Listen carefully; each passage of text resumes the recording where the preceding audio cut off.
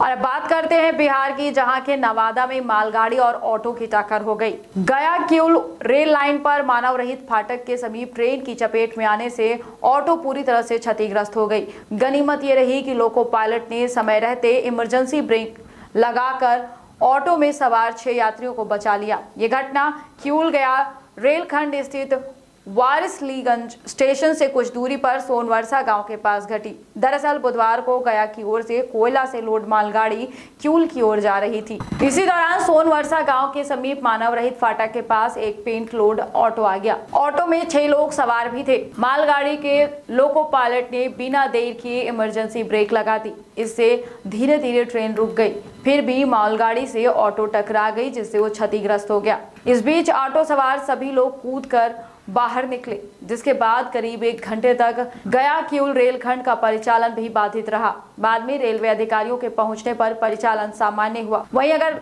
लोको pilot ने emergency brake नहीं लगाया होता तो बड़ी घटना हो सकती थी। नवादा स्टेशन प्रबंधक अवधेश कुमार सुमन ने बताया कि लोको पायलट की सूझबूझ से सोनवर्षा मानव रहित फाटक के पास बड़ा हादसा टल गया। राजवाटिका विवाह घर सर्व सुविधा युक्त प्राकृतिक सुंदरता से ओत प्रोत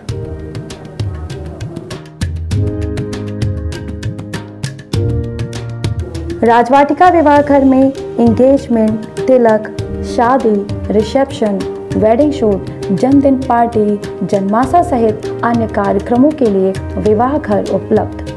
अपने मांगलिक कार्यक्रमों को यादगार बनाएँ शहर के मध्य वातानुकूलित राजवाटिका मैरिज गार्डन के साथ। हमारा पता है, Rajvatika marriage garden, national highway, Jula मोड़, भुंडहा, रीवा।